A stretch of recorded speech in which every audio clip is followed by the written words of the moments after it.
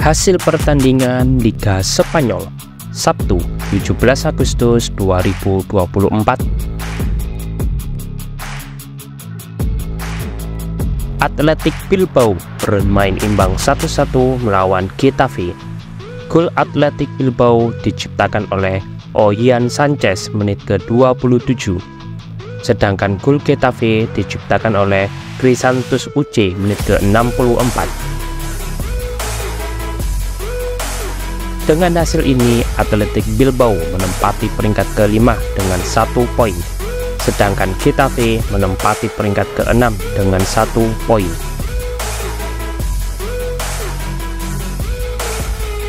Real Betis bermain imbang 1-1 melawan Girona. Gol Real Betis diciptakan oleh Mark Bartra menit ke-6, sedangkan gol Girona diciptakan oleh Gabriel Misihoy menit ke-72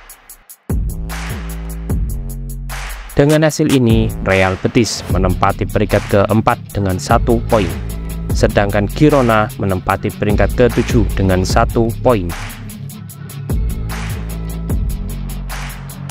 Celta Vigo menang 2-1 atas Deportivo Alaves. Gol Celta Vigo diciptakan oleh Williot Sweetberg menit ke-66 dan Iago Aspas menit ke-84 sedangkan gol Alaves diciptakan oleh Kike menit ke-17. Dengan hasil ini, Celta Vigo menempati peringkat ke-1 dengan 3 poin. Sedangkan Alaves menempati peringkat ke-20 dengan 0 poin. Las Palmas bermain imbang 2-2 melawan Sevilla. Gol Las Palmas diciptakan oleh Tangwe Ninzou bunuh diri menit ke-42 dan Sandro Ramirez menit ke-71.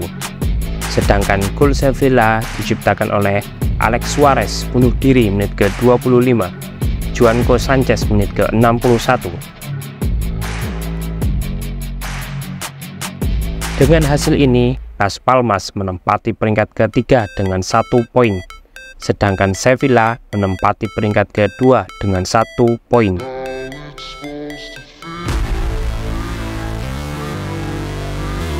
Jadwal pertandingan Liga Spanyol Minggu 18 Agustus 2024 Osasuna melawan Leganes pukul 00.00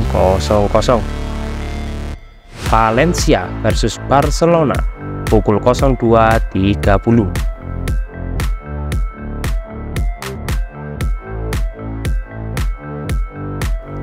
jadwal pertandingan Liga Spanyol Senin 19 Agustus 2024 Real Sociedad melawan Rayo Vallecano pukul 00.00 Real Mallorca versus Real Madrid pukul 02.30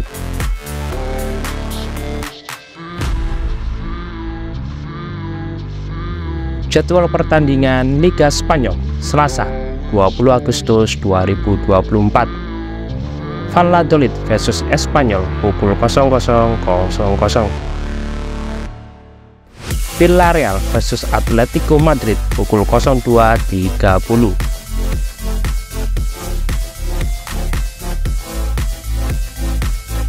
Terima kasih sudah menonton, jangan lupa subscribe